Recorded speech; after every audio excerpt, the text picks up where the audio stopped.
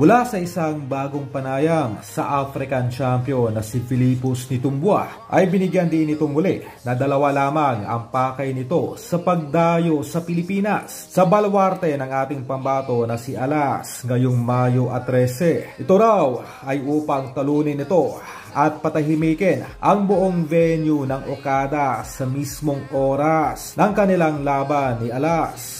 Ganun pa man, sa tila mga malalamyang bitaw ng suntok nitong si Filipus ay walang duda na madudurog lamang ito ng literal sa mga kamaong bakal ng ating nag-iisang 3 Division Champion, Cuadro Alas.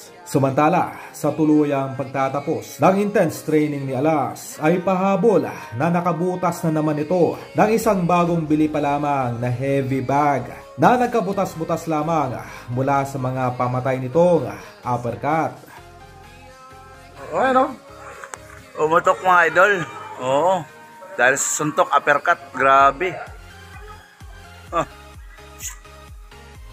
Sa mga hindi pa po nakakaalam, maliban sa left hook, ay mas kilala ang ating pambato sa mga delikado nitong uppercut na siyang nagpapalipad sa mga ulo ng kanyang mga nabibiktima na siya rin uh, kinagigiliwang ngayong uh, suntok ng artistang si Yasi Pressman. Tuwing ito ay nagmi-meet sa kanilang mansyon na tila sinisikap pa nitong ireplika o gayahin ang signature uppercut mula sa ating pambato at ang iisang angas ng Pinas na si Cuadro Alas.